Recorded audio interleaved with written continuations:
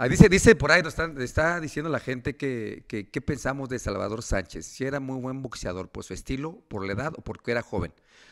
Voy a dar mi punto de vista, después Eric dará el de él. Dale. Yo creo que fue por el tipo de rivales que le pusieron a su corta carrera y a su corta edad.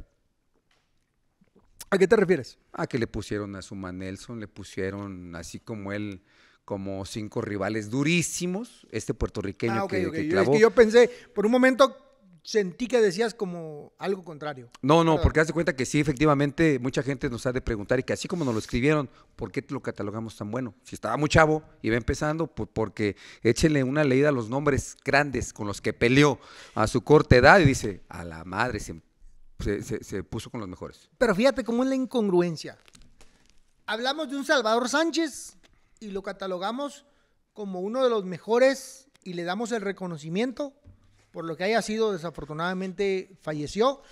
Pero tenemos otro, otro gran campeón que es José Luis Ramírez. También falleció y fue... sí. No, no, no, no falleció. No, espérate, ¿zurdo? no, no, no, es el zurdo Ramírez, el original. Eh, con todo el Gilberto, respeto. Gilberto.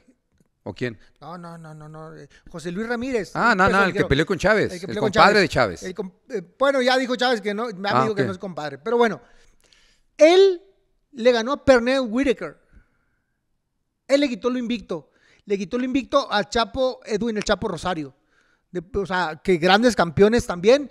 Y yo creo que eh, no, no tiene nada que ver contra, contra este Salvador Sánchez. Solamente que nos, nos olvidamos, por lo que haya sido, pero nos olvidamos de algunos campeones que vale la pena reconocer y que muchos nos estamos sumando a alzar la voz para que lo metan al No, Salón es de que así como él hay muchos, el Gato González, o sea, hay muchos boxeadores que en realidad, pues sí, los tenemos en el tintero, pero los invitamos a que así como nos escribieron para preguntarnos, nos saquen una lista de los que, peleadores que enfrentó Salvador Sánchez para colocarlo así, y uno de- del que menciona este Eric Morales, este Zurdo Ramírez. Eh, José Luis Ramírez. José Luis Ramírez. Originario de Guatabampo, Sonora. Cinco o siete mejores rivales y los siete mejores de acá. Y aquí hacemos otra controversia. Vamos a ver quién a su corta o larga edad tuvo los mejores rivales. Ah, pues no podemos porque está muerto. No, no podemos. no podemos No porque está podemos saber, muerto. pero no, pero sí era, un- sí era, sí era un buen peleador. Y por lo menos era una persona, un peleador que, se- que era muy dedicado y que hacía, y llegaba bien preparado. Yo creo que hubiera, pues hubiera destacado alto, ¿no? O Sí, sea, ya iba bien, hubiera llegado más lejos. 23 años parece ser. ¿Qué tan tenía, alto? ¿no? Pues ahí sí no sabemos, ¿no? Sí, no, porque hace cuenta que aquí se menciona, toda la vida se ha mencionado que es muy bueno por los rivales que, que enfrentó, por los nombres. Pero, pero sí, no le vamos a quitar el valor, sí, pero eso lo determinamos ya después que entonces supimos quién era Suma Nelson, que ya supimos quién era este, Este puertorriqueño. eh, Wilfredo Gómez. Wilfredo Gómez. Entonces realmente, porque pues ahí, bueno, Wilfredo ya le había ganado a algunos, algunos que otros mexicanos, pero destacaron todavía más grande ellos dos, ¿no? Sí, más nombres, más, Más nombres nombres. todavía destacaron y siguieron aparte todavía activos. Por eso es que hay mucha controversia. ¿Quién puede ser el mejor? También mucha gente coloca a Julio por encima de ellos. Nos pregunta aquí qué hubiese pasado. Yo, yo no comparto el, que- el hubiera. Yo, yo en realidad creo que si no se dio, no se dio. Eh, por algo pasan las cosas. Tal vez fue de promotores, tal vez por cosas, pero en esta época no fueron épocas muy diferentes. Eh, pregúntenos mejor eh, de, lo, de lo que hay actualmente, ¿no? Porque pues está complicado, ¿verdad? ¿Qué hubiera? Haz de cuenta que yo he dicho siempre que estilos hacen peleas, y ves que el pinche rival es más malo y es el que más lata te da. Entonces, mientras más bueno es, pues más la disfrutas. Mejor pelea sale. Entonces, ah, está complicado decir yo si hubiera estado, lo hubiera. Sí, Yo no hubiera- comparto el hubiera hubiera. es complicado. Muy, muy, muy, muy, muy complicado. Entonces, se peleó que quien se tenía que pelear en su momento. Bueno, en mi, mi caso, yo creo que tú también. Y, y, y puras que se quedaron en el tintero fue porque pues, pues no se dieron ni nomás. Pues no se dieron. Porque te preguntan, ¿qué hubiera pasado? Pues no chinguen. ¿qué, Pues, qué ¿qué va a hubiera pasado? Eh, Cada rato me preguntan eso, de, de Marco en Márquez, eso, ¿no? ¿qué hubiera pasado? ¿Qué hubiera Pues no pasado? Pues no pasó nada, no, no, no se dio y ya, pues que, que ya, ya, no es polémica, no es polémica, ya no se dio y ya. Sí, porque a ver, yo sí peleé. No peleó con él. Me dice, ¿qué hubiera pasado? No manches, pues, ¿qué hubiera pasado? Pues lo mismo que pasó tal vez, hubiera perdido. O sea, no sabemos qué hubiera, qué. Yo, yo por eso cuando aquí, oye, ¿qué hubiera? Que nos escriben mucho eso, nos preguntan Claro. el hubiera. Yo les digo, yo personalmente no comparto el hubiera, Me gustan las peleas que se dieron, las que están actualmente que se puedan realizar, porque los estilos pueden partir mucho una pelea. Claro. Pero, pero, pero vamos a hacer un hipotético nomás. Chiquito, chiquito, para la polémica del día, para que la pongan ahí los que se roban los, los, los clips. ¿no? Alfredo, Alfredo, Alfredo. No, ahí les va. Imaginen que, pa que Paquiao peleó con Márquez.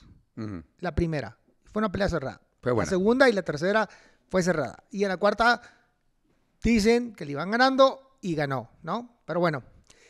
Peleó eh, Barrera con Márquez. Fue una pelea cerrada.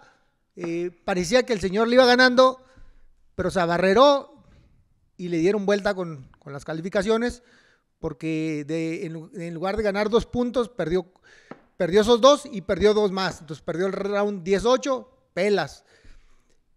Pero fue una pelea cerrada, ¿sabes? Peleó eh, tú y, y Paquiao. Eh, la primera pues te arrasaron, la segunda ya fue una pelea más cerrada. Peleó eh, tu servidor con, con Paquiao. La primera fue una pelea buena, la segunda fue buena, pero se me acabó el aire. Y la tercera se me acabó el aire. Pero al final del día, cuando, cuando estábamos en el Prime, todos eran peleas cerradas. ¿Qué hubiera pasado entre él y yo? Pues una pelea cerrada. O sea, yo creo que... Una pelea cerrada, eso hubiera pasado. Sí, sí, sí, porque decir, puede ganar, pues lo que les digo ahorita, oye, si yo no peleé, ¿cómo que hubiera pues, pues qué pasa? Pues me madrió, fue una buena, pero pues cerrada al final del día. Entonces no podríamos ponernos. Aparte, también hay que recordar que, pues el estilo de Márquez eh, es contragolpeador, pero al final del día, como un mexicano, se calentó y iba para adelante. Eh, un, un, Manny Pacquiao, por ejemplo, es un peleador que iba para adelante, pero también sabía ir para atrás. Hizo, hizo varias peleas en reversa. Yo creo que él sabía a quién pelearle en reversa y a quién pelearle para adelante. Entonces. ¿No viste que salió un comentario de, él? ¿Del peleador más duro mexicano? ¿cuál? Decía: al peleador, eh, mi mejor pelea, mi mejor triunfo contra Oscar de la Hoya. Mi peor pelea contra Juan Manuel Márquez. Y la pelea que para mí fue la más difícil. La más dura, ¿no? La más dura fue contra Margarito. Por lo grande y la Por lo grande y la pegada. Entonces, este, pues sí, ahí, ahí en esa tuvo que aventarse eh, para atrás, ¿no? En pues lo que te digo. no sabemos, el hubiera no existe. La realidad es lo que está pasando y lo que pasa. Las peleas ya se dieron. Sí, como se complementan, ¿no? como se complementan dos peleadores, tienen muchos, hay muchos factores para poder encontrar un resultado. Así que el hubiera... se hacen peleas.